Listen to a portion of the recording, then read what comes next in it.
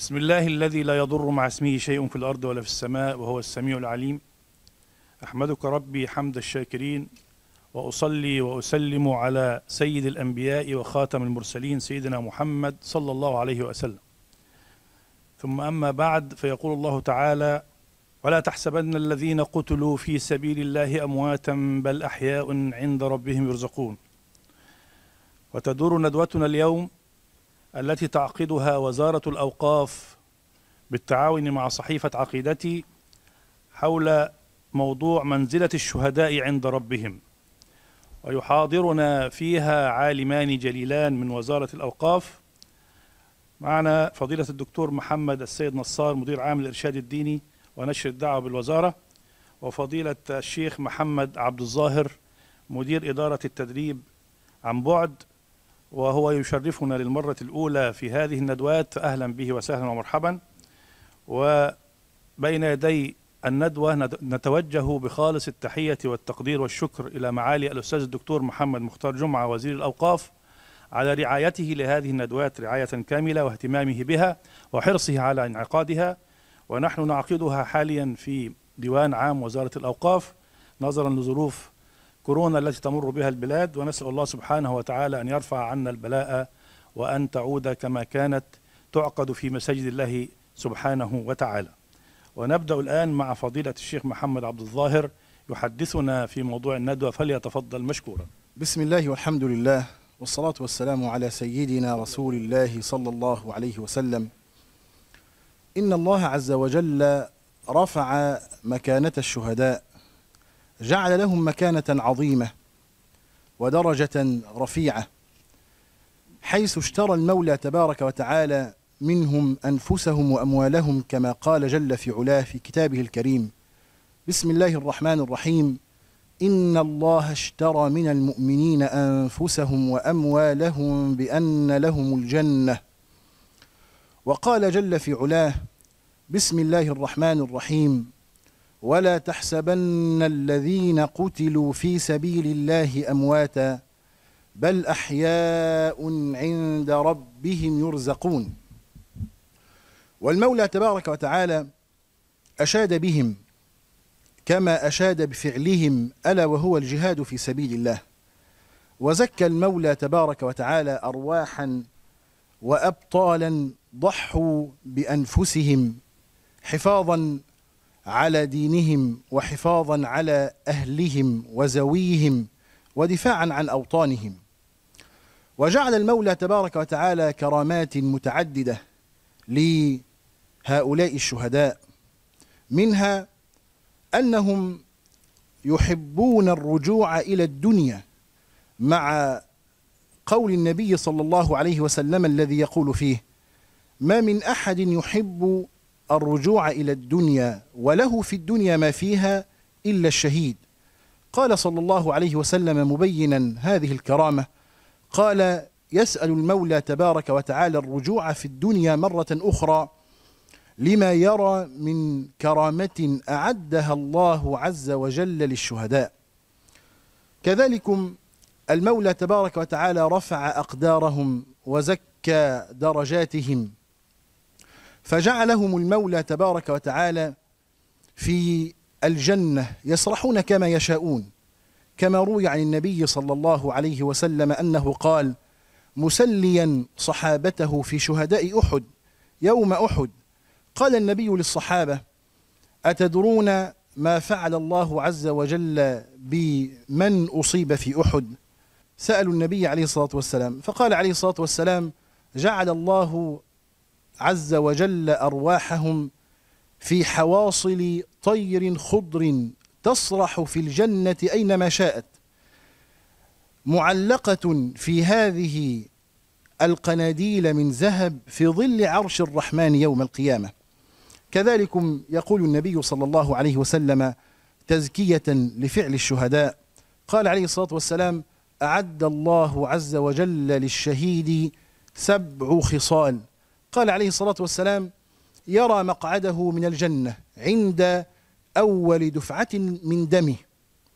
وبشأن هذا الأمر لا يجد الشهيد من ألم الضربة كما قال عليه الصلاة والسلام إلا كما يجد أحدنا من مس القرصة أو كما روي عن الحبيب عليه الصلاة والسلام. النبي عليه الصلاة والسلام زكى أجر الشهداء ومولانا جل في علاه زكى فعل الشهداء.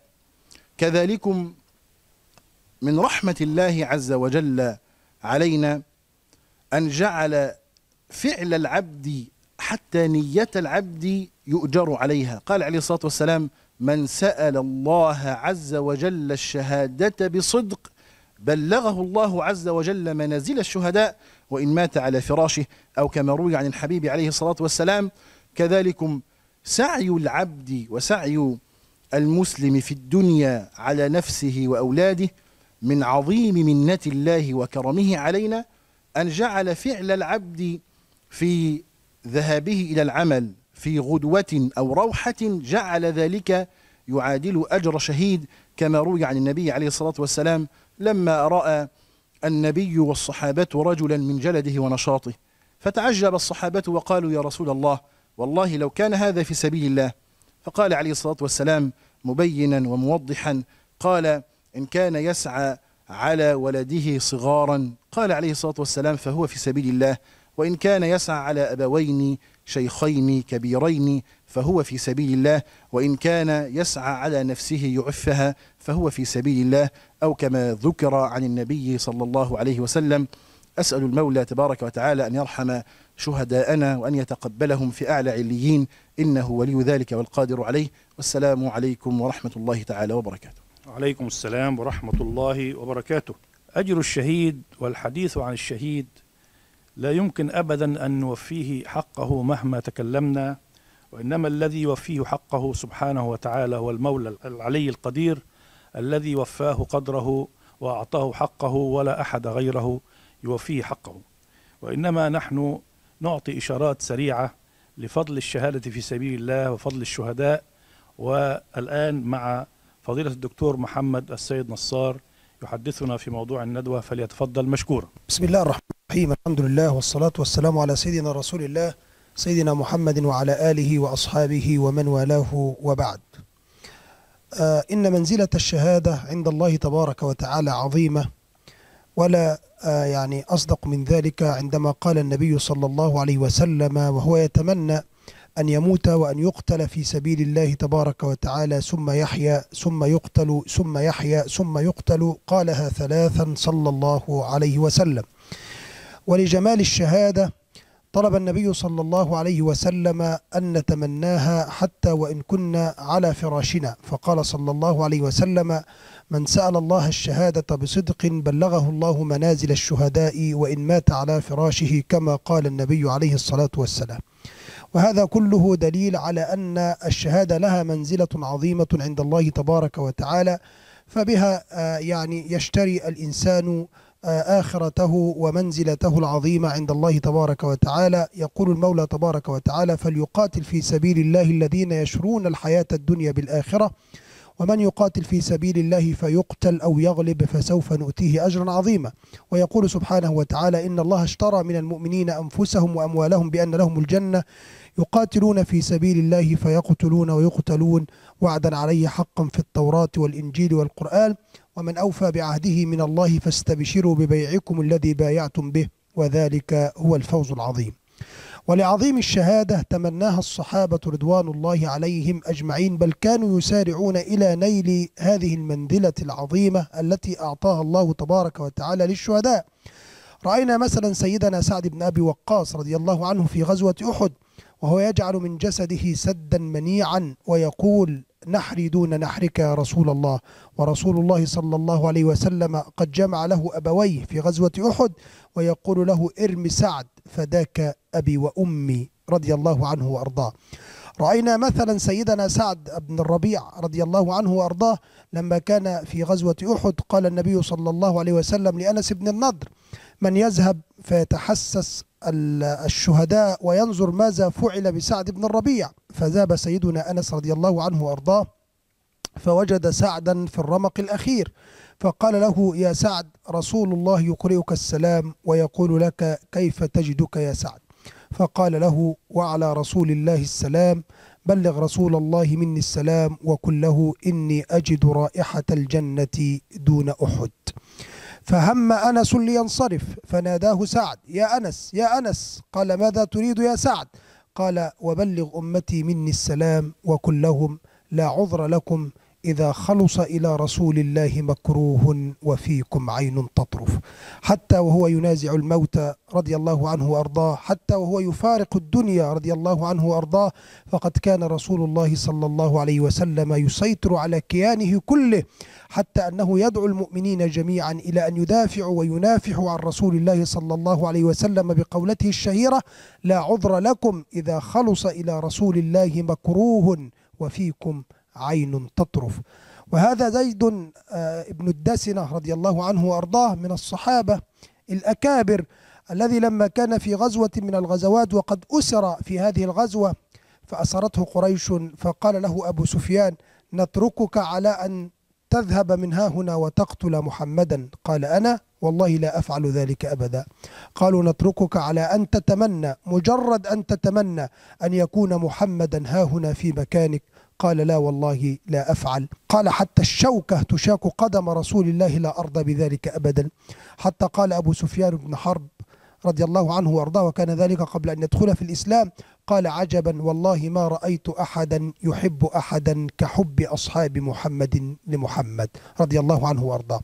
ولذلك أنشد بعضهم أبياتا في هذه الحادثة قال فيها أسرت قريش مسلما في غزوة فمضى بلا وجر إلى السياف. سألوه هل يكفيك أنك سالم ولك النبي فدا من الإتلاف؟ فأجاب كلا لا نجوت من الردى ويصاب أنف محمد برعاف. رضي الله عنهم أجمعين. حتى الأطفال الصغار في حديث الإمام البخاري رضي الله عنه من حديث عبد الرحمن بن عوف أن لما كانت غزوة بدر يقول عبد الرحمن بن عوف وبينما أنا في الصفوف يوم بدر وإذا بفتيان حديث السن يقف أحدهما عن يساري والآخر عن يميني وإذ بالذي عن يساري يغمزني سرا من صاحبه وهو يقول يا عم يا عم أما ترى أبا جهل قال ماذا تريد منه يا ابن أخي؟ قال خبرت أنه يسب رسول الله وقد أخذت العهد على نفسي ألا يفارق سوادي سواده حتى يموت الأعجل منا. يقول فنظرت عن يميني فإذا الذي عن يميني يغمزني سرا من صاحبه لا يريد أن يراه الذي عن يساره وهو يقول يا عم يا عم قلت ماذا تريد يا ابن أخي؟ قال أما رأيت أبا جهل؟ قال وما تريد منه؟ قال خبرت أنه يسب رسول الله وقد أخذت العهد على نفسي ألا يفارق سوادي سواده حتى يموت الأعجل منا. قال فنظرت فإذا أبا جهل يصول ويجول في الناس فقلت أما تريان هذا الرجل؟ قال نعم. قال فهذا صاحبكم الذي تطلبانه قال فانطلقا إليه كالصقرين فقتلاه ثم أسرع كلاهما إلى رسول الله صلى الله عليه وسلم. يقول الأول قتلته يا رسول الله والثاني يقول لا أنا الذي قتلته والأول يقول أنا الذي قتلته. فقال النبي صلى الله عليه وسلم على رسلكما هل مسحتما سيفيكما؟ قال لا. قال النبي صلى الله عليه وسلم أروني السيفين. ثم نظر النبي إليهما ثم قال كلاكما قتل معاذ بن عمرو بن الجموح ومعاذ بن عفراء. فتيان من الصحابة علموا الدنيا كلها حلاوة التضحية وجمال الوفاء. حتى الأعرج وهو سيدنا عمرو بن الجموح رضي الله عنه الذي تمنى أن يطأ بعرجته هذه في الجنة فيموت شهيدا وقد أذن له رسول الله صلى الله عليه وسلم حتى قال النبي رأيته بعد شهادته رضي الله عنه وأرضاه وهو في الجنة يطأ بعرجته هذه ورجلاه صحيحتان. حتى الأطفال حتى النساء فهذه السيدة خديجة رضي الله عنها وأرضاها منذ فجر الدعوة وهي تقول يا ابن العمومة لا تخف كلا فلن يخزيك رب حاني. أنت الذي تقري الضيوف بشاشة وتعين ذا نصب بغير تواني. هذه النبوة قد أتتك فكلها. أهلا لتمحو مظهر الطغيان. فاثبت رعاك الله يا خير الورى واخضع لأمر الله في قوة وإيمان. وما هذا كله إلا لحلاوة الشهادة وما أعد الله من منزلة عظيمة للشهداء عند الله تبارك وتعالى. فهم يشفعون لسبعين من آل بيتهم وهم الذين آه، أرواحهم في حواصل طير خضر تسبح في الجنة كما قال النبي صلى الله عليه وسلم. وهم الذين يزوجون من الحور العين. وهم الذين لا يشعرون بألم الموت ولا بألم القتل. كل هذه من منازل الشهداء التي أعدها الله تبارك وتعالى لهم. أسأل الله تبارك وتعالى أن يرزقنا نعمة الشهادة وأن يتقبل منا ومنكم. وصلى الله وسلم على سيدنا محمد والحمد لله رب العالمين. الحمد لله رب العالمين. جزاكم الله خيرا معالي الدكتور وشكر الله لكم. وفي ختام ندوتنا نتوجه بخالص التحية والتقدير للأستاذ الدكتور محمد مختار جمعة وزير الأوقاف. ونشكر كل الشكر والتقدير والتحية الدكتور محمد السيد نصار مدير عام الإرشاد الديني ورش الدعوة بوزارة الأوقاف وفضيلة الشيخ محمد عبد الظاهر مدير إدارة التدريب عن بعد بالوزارة. والشكر موصول لحضراتكم والسلام عليكم ورحمة الله وبركاته.